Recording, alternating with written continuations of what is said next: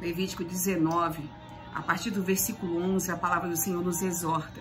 Olha só, não furtem, não roubem, não enganem uns aos outros, não minta, não oprima o teu próximo, não jogue injúrias contra o teu próximo e nem calunie o teu próximo. Eu entendo isso aqui um pouco a mais. Quantos de nós furtamos em nós mesmos a paz, a obediência à palavra? Quantas vezes nós roubamos a presença do Senhor em nossas vidas? Quando nós falamos mal de alguém, quando nós oprimimos o próximo, quando nós julgamos o próximo, quando nós caluniamos o próximo, quando nós fazemos o mal, quando nós culpamos alguém sem ele ter culpa, quando nós queremos ser justiceiros. Eu vejo aqui que esse roubo não é só de coisas materiais. Eu vejo que é da presença do Senhor em nossas vidas. Eu vejo quantas vezes nós estamos aqui mentindo, sendo impostor de nós mesmos, dizendo eu sirvo ao Senhor e falando mal do próximo. Eu vou à igreja e falando mal do pastor. Eu amo o Senhor, eu dizimo, eu oferto. E você querendo mal dos outros. Hoje o Senhor nos chama a sermos pequenos Cristo. Hoje o Senhor nos chama realmente ao chamado ao arrependimento, à paz, a sermos divulgadores da paz em Cristo Jesus, a espalharmos não a mentira, não o engano, não a injúria, e sim a paz, a verdade que é Ele. O que você tem deixado ser roubado de você? O que você tem permitido que seja furtado de você? Foi a paz? Foi a mentira que te falaram e você se revoltou com alguém?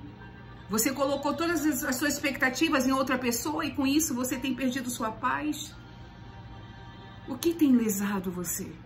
O que tem afastado você de Cristo? Hoje a pergunta é para mim e para você. O que você tem roubado? O que você tem julgado? O que você tem dito? Quais são as palavras precipitadas que você tem falado, meu irmão, minha irmã? Hoje o Senhor nos chama ao profundo arrependimento, à paz, ao equilíbrio, à razão. Hoje o Senhor nos chama a dizer não essas coisas, porque essas coisas roubam Deus da nossa vida.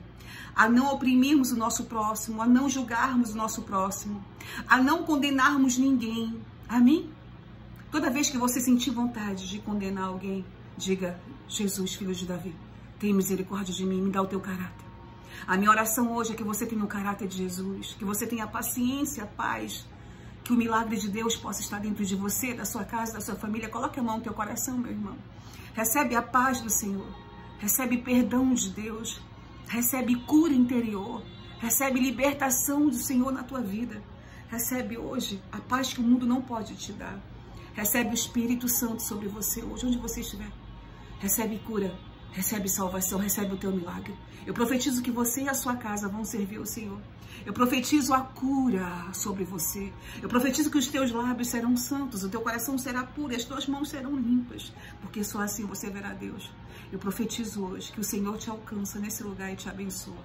Tem vitória de Deus chegando nesse lugar. Tem libertação chegando nesse lugar. Oh, da placheira e cai solianda. Tem cura nesse lugar. O Senhor está tirando pessoas aqui que julgam pessoas. O Senhor está te libertando. Você crê? O Senhor está tirando dos seus lábios as palavras precipitadas, me diz o Senhor nesse lugar, essa noite, recebe. O Senhor está tirando a amargura, o ódio, a decepção. O Senhor está colocando hoje a paz dele sobre você. O Senhor está enxugando hoje os prantos aqui. O Senhor hoje está indo em corações que estão tristes, entristecidos, há uma batida, o Senhor está cuidando desse lugar. O Senhor está curando três pessoas de câncer nesta noite, nesse lugar. Recebe. O Senhor está tocando em famílias hoje nesse lugar. O Senhor